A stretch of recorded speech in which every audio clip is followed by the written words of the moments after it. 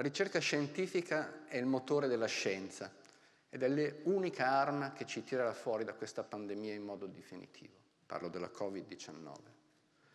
Sì. Torniamo indietro di un anno circa, realizziamo quello che assomiglia quasi a un miracolo. In meno di un mese è stato identificato e sequenziato un nuovo virus che causava una nuova malattia.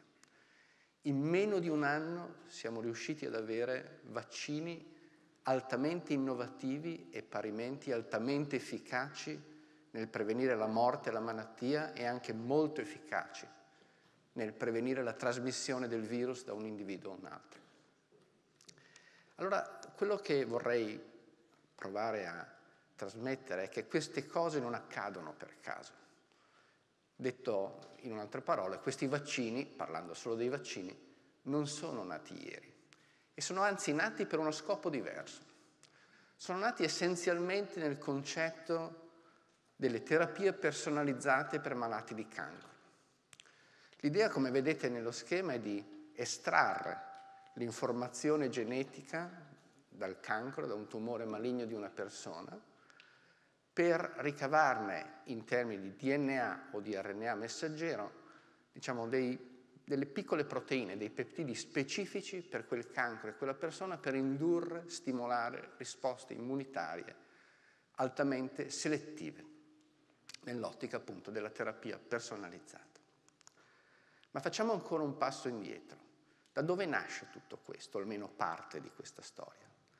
Nasce con una storia umana appassionante, quella di una giovane ungherese, Katalin Caricò, che aveva un'idea un po' pazza, oggi diremmo un po' alla Elon Musk per intenderci, di sfruttare l'RNA per creare nuovi vaccini. Per la conoscenza di allora questa era una specie di eresia, perché si sa che l'RNA messo in una cellula viene degradato nel giro di pochi minuti. Eppure, tant'è che la preoccupazione di Catalin era quella di riuscire a trovare una borsa di studio per arrivare a fine mese.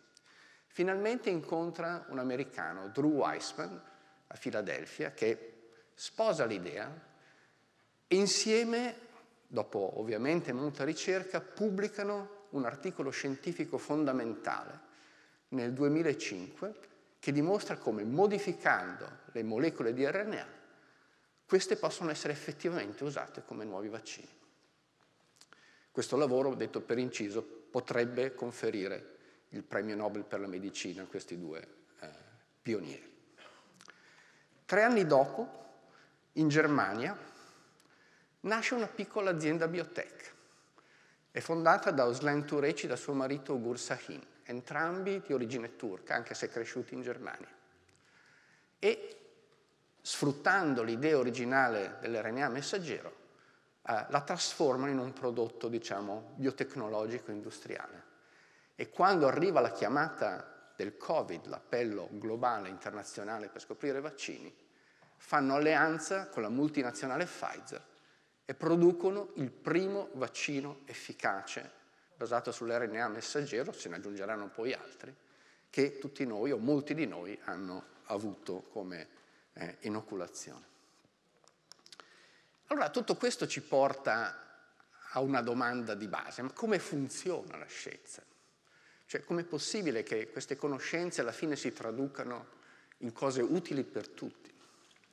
E allora qui dobbiamo distinguere un prima e un dopo.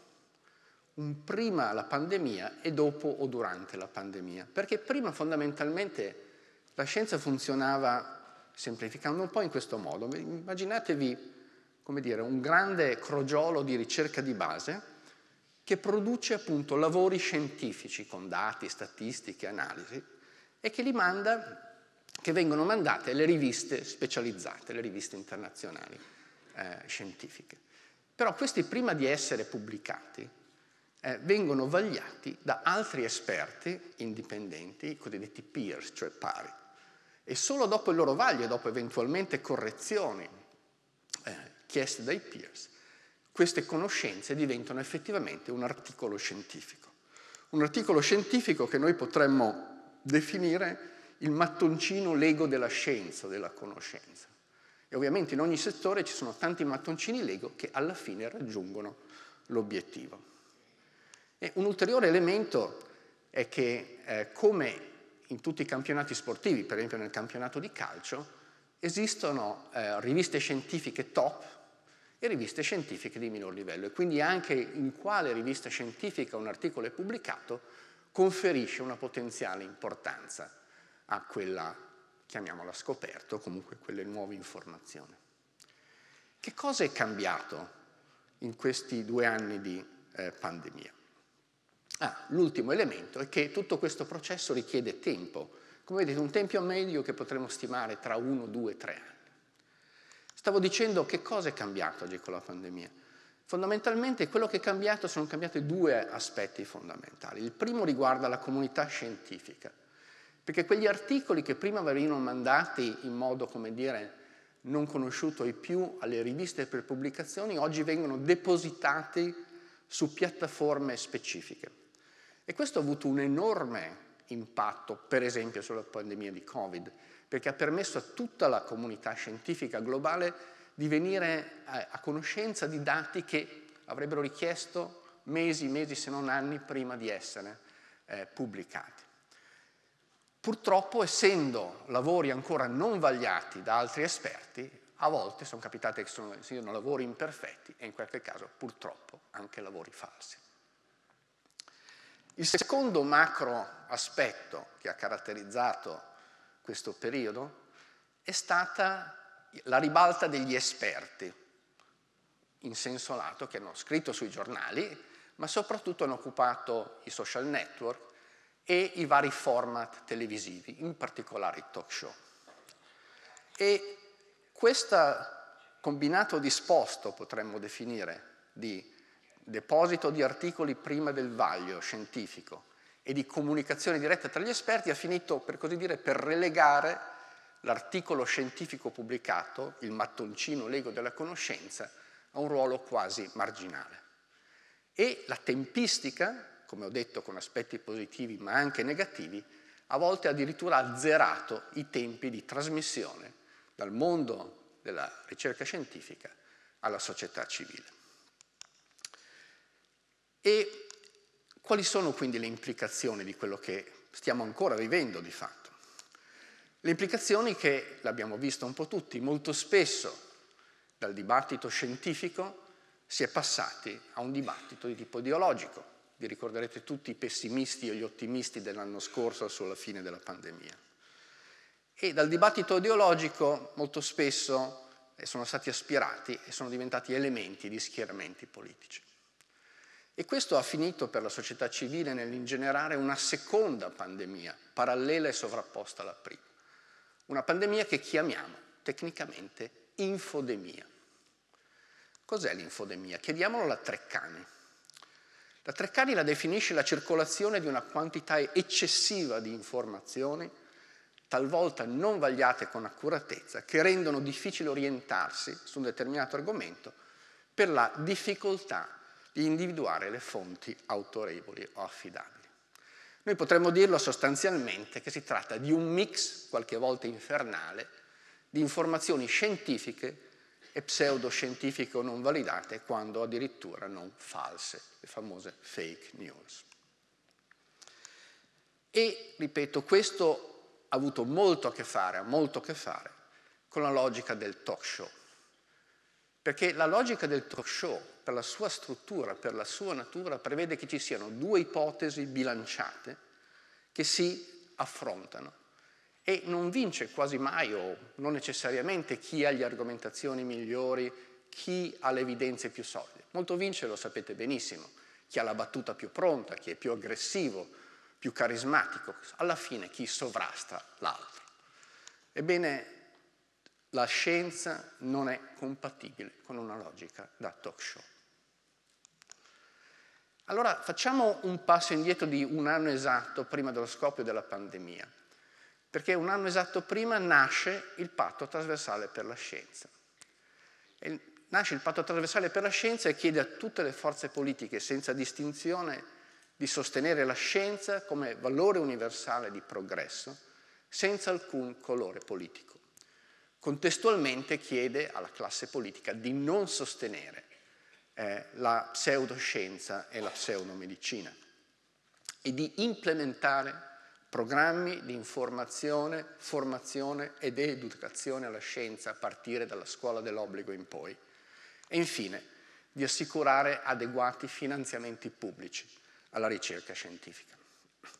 Ma nello specifico cosa ha fatto il patto trasversale per arginare o contrastare l'infodemia? Quello che abbiamo fatto, abbiamo fatto un decalogo di autodisciplina, chiaramente indirizzato innanzitutto agli affiliati del patto trasversale per la scienza, ma a disposizione di tutta la comunità scientifica di esperti che se ne volessero avvalere. Vediamo rapidamente questi dieci punti.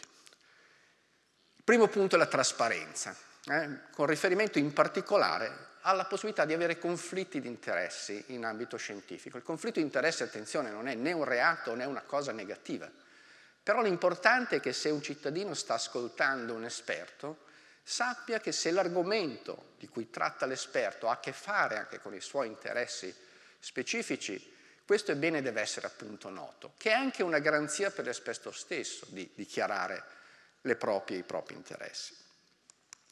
A ciascuno il suo. Eh, voi lo sapete, quasi tutti gli esperti che vanno in, tu, in tv vengono etichettati come virologi. Ebbene, dovete sapere che un virologo ha delle competenze diverse da un immunologo, complementari ma diverse, ed entrambi hanno competenze diverse e complementari ad un infettivologo e così via. Credo che nessuno delle persone che sono qui oggi eh, se avesse bisogno di un lavoro in casa sbaglierebbe nel chiamare un imbianchino, un idraulico, un elettricista o un muratore. Bene, anche nella scienza è la stessa cosa. Ognuno ha delle proprie competenze che poi messe insieme magari eh, si aiutano l'un con l'altro. Non improvvisare, cercare di conoscere in anticipo i temi e le domande che ci verranno fatti per essere più preparati, per non improvvisare appunto. No al sensazionalismo. La scienza non ha bisogno di gonfiare le proprie osservazioni, perché queste fatalmente finiscono per alimentare aspettative, soprattutto nelle persone o malate o con familiari malati, e poi quando queste aspettative non vengono confermate dalla realtà, il tutto finisce in una sfiducia nella scienza. Prima i dati scientifici e poi le opinioni. Quello che l'esperto dovrebbe fare principalmente, se non esclusivamente, è quello di spiegare in parole semplici ma corrette i contenuti e i limiti dei lavori scientifici o degli studi clinici e poi eventualmente dare una propria opinione sulle ricadute a lungo termine, ma tenendo molto ben separate entrambe le eh, comunicazioni. No alla par condicio, l'abbiamo detto, il, come nella logica del talk show, nella scienza non esistono quasi mai due ipotesi uguali che si affrontano, esiste un accumulo di conoscenze consolidate e poi c'è un'area in continuo sviluppo e divenire che va eh, com- dire, comunicata. Evitare le polemiche, le polemiche non servono assolutamente a chiarire le idee ma a confondere. Aggiornamento continuo. Il, la scienza, l'abbiamo detto anche prima, è in rapido evolversi, in particolare per quanto riguarda la pandemia, e quindi a volte succede anche che alcune conoscenze rimpiazzino o sostituiscano o smentiscono quelle eh, precedentemente accumulate. Ecco, questo l'esperto deve spiegare in modo semplice e corretto perché secondo le conoscenze di un tempo predominava una certa idea e perché oggi magari ne predomina un'altra. Nessuna strumentalizzazione. La scienza è un patrimonio di tutta la società e non solo di una sua parte. E infine l'ultimo punto del decalogo è ammettere i propri errori, perché tutti sbagliano, e ricordarsi anche di saper dire questo non lo so. Cosa possiamo concludere nella logica del more no more? Possiamo concludere che la pandemia di Covid di nuovo ha fatto apprezzare a tutti l'importanza della scienza e delle sue ricadute nella nostra vita, per la nostra salute sia individuale che collettiva. Allo stesso tempo la spettacolarizzazione della scienza nel contesto di talk show o di eventi simili ha finito per alimentare quella che abbiamo chiamato infodemia. Come ne usciamo? Ne usciamo se restituiamo alla scienza e alla medicina quel ruolo centrale che dovrebbero avere, che in parte hanno, nelle decisioni poi politiche di gestione della salute pubblica. Perché solamente grazie alla ricerca scientifica che scopriremo i farmaci e i vaccini che ci proteggeranno dalle epidemie del futuro. Grazie.